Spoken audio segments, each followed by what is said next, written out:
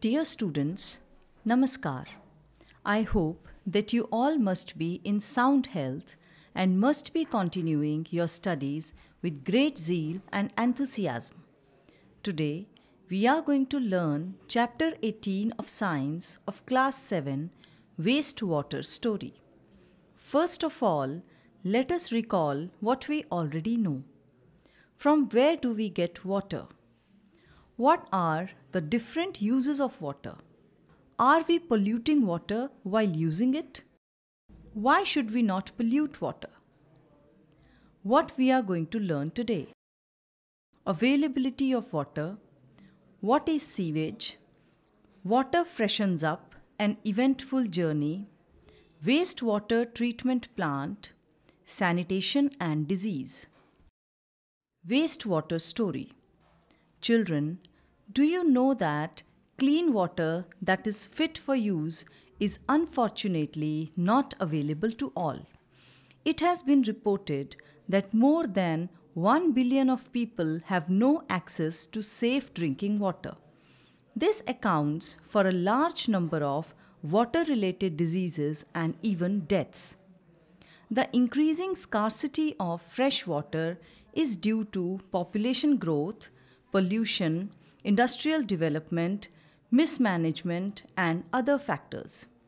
Realizing the urgency of the situation on the World Water Day on 22nd March 2005, the General Assembly of the United Nations proclaimed the period 2005 to 2015 as the International Decade for Action on Water for Life. All efforts made during this decade aim to reduce by half the number of people who do not have access to safe drinking water. What is sewage? Sewage is wastewater released by homes, industries, hospitals, offices, and other users. Sewage is a liquid waste. Most of it is water which has dissolved and suspended impurities. We know that sewage is a complex mixture containing suspended solids, organic and inorganic impurities, nutrients, saprophytes, and disease causing bacteria and other microbes. Sewage include the following kind of pollutants. The first category of pollutants is organic impurities like human feces, animal waste, oil, urea, pesticides, herbicides, fruit and vegetable waste, etc. Inorganic impurities like nitrates, phosphates, and metals. It also includes nutrients like phosphorus and nitrogen. Sewage may contain bacteria such as Vibrio cholerae, which causes cholera, and Salmonella paratyphi, which causes typhoid. It may also include other microbes such as protozoans, which cause dysentery. Water freshens up an eventful journey. In a home or a public building, generally one set of pipes brings clean water and another set of pipes takes away wastewater. We would see a network of big and small pipes called sewers forming the sewerage. It is like a transport system that carries sewage from the point of being produced to the point of disposal, that is, treatment plant. Manholes are located at every 50 meter to 60 meter in the sewerage at the junction of two or more sewers and at points where there is a change in direction. Wastewater treatment plant. To know about treatment of polluted water, let us perform an activity. It will help you understand the processes that take place at the wastewater treatment plant. Divide yourself into groups to perform this activity. Record observations at each stage. Fill a large glass jar 3 by 4th full of water. Add some dirty organic matter such as grass pieces or orange peels, a small amount of detergent, and a few drops of an ink or any color. Cap the jar, shake it well, and let the mixture stand in the sun for two days. After two days, shake the mixture and pour a small sample into test tube. Label this tube before treatment sample 1. How does it smell? Use an aerator from an aquarium to bubble air through the sample in the glass jar. Allow several hours for aeration. Leave the aerator attached overnight. If you do not have an aerator, use a mechanical stirrer or a mixer. You may have to stir it several times. The next day, when aeration is complete, pour another sample into a second test tube. Label it as after aeration sample 2. Fold a piece of filter paper to form a cone. Wet the paper with tap water and then insert the cone in a funnel. Mount the funnel on a support. Place layers of sand, fine gravel and finally medium gravel in the funnel. Pour the remaining aerated liquid through the filter into the beakers. Do not allow the liquid to spill over to filter. If the filtered liquid is not clear, Filter it a few times till you get clear water. Pour a sample of the filtered water into a third test tube labeled filtered sample 3. Pour another sample of the filtered water into a fourth test tube. Add a small piece of a chlorine tablet. Mix well until the water is clear. Label the test tube chlorinated sample 4. Observe carefully the samples in all the test tubes. Do not taste, just smell them. Now answer the following questions. What changes did you observe in the appearance of the liquid after aeration? Did aeration change the odor? What was removed by the sand filter? Did chlorine remove the color?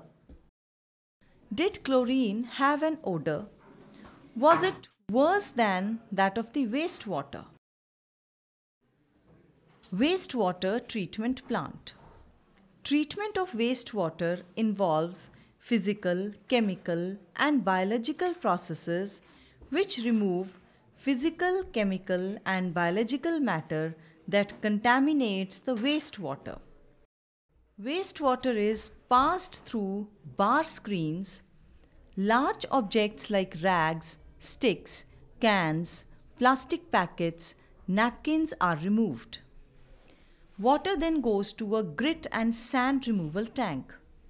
The speed of the incoming wastewater is decreased to allow sand, grit, and pebbles to settle down. The water is then allowed to settle in a large tank which is sloped towards the middle. Solids like feces settle at the bottom and are removed with a scraper. This is the sludge.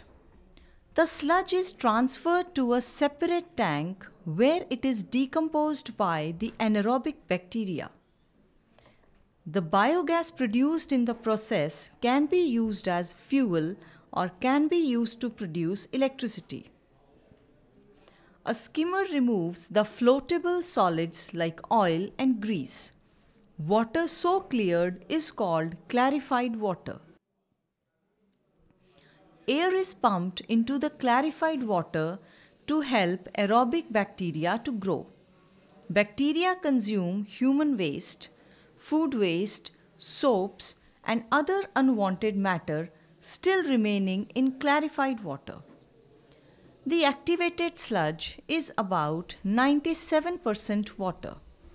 The water is removed by sand drying beds or machines. Dried sludge is used as manure, returning organic matter and nutrients to the soil. The treated water has a very low level of organic material and suspended matter. It is discharged into a sea, a river, or into the ground. Nature cleans it up further. Sometimes it may be necessary to disinfect water with chemicals like chlorine and ozone before releasing it into the distribution system. Sanitation and disease. Poor sanitation and contaminated drinking water is the cause of a large number of diseases.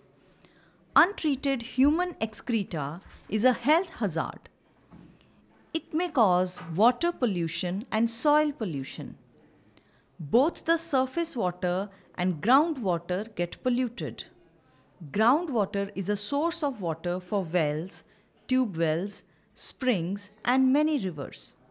Thus, it becomes the most common route for waterborne diseases.